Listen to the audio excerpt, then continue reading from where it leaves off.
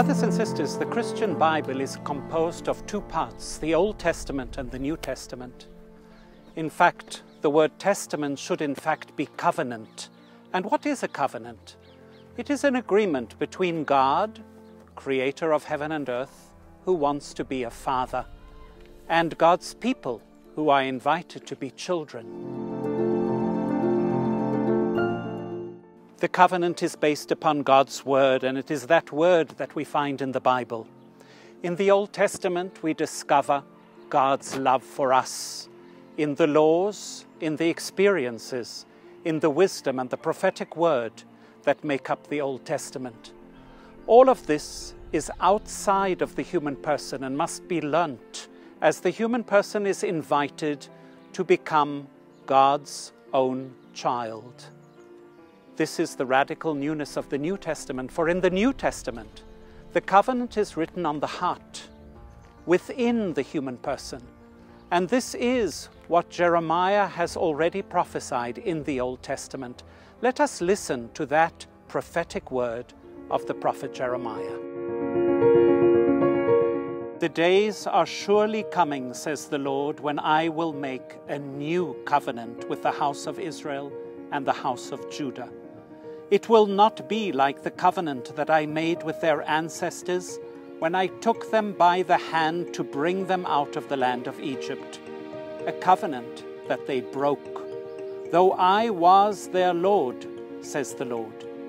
But this is the covenant that I will make with the house of Israel after those days, says the Lord. I will put my law within them, and I will write it on their hearts and I will be their God, and they shall be my people. No longer shall they teach one another, or say to each other, Know the Lord, for they shall all know me, from the least of them to the greatest, says the Lord. For I will forgive their iniquity, and remember their sin no more.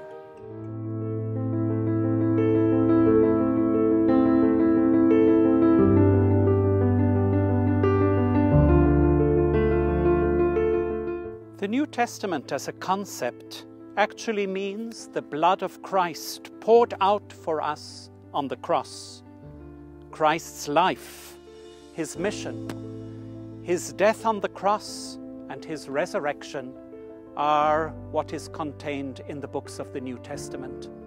In fact, according to tradition, the eight authors that wrote the books of the New Testament found the right words in their knowledge of the Old Testament to write their testimony. These eight are Matthew, Mark, Luke, John, Paul, James, Peter, and Judah.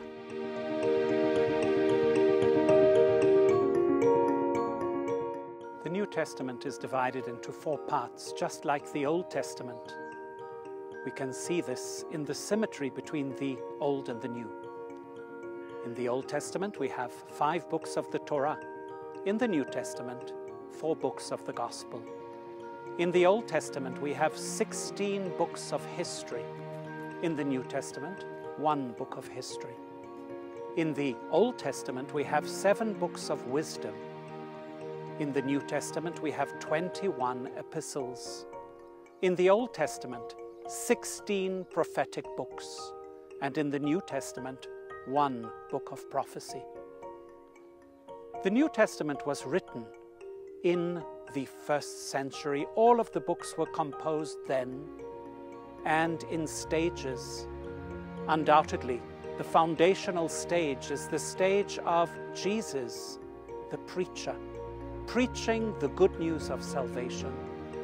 After his resurrection, his disciples continued to preach but now they preached Jesus, who had been the preacher and now became the preached one, the subject of the preaching.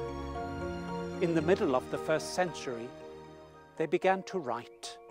And Jesus, the preached one, became Jesus, the written one, the one that we still have today, the one to whom we turn.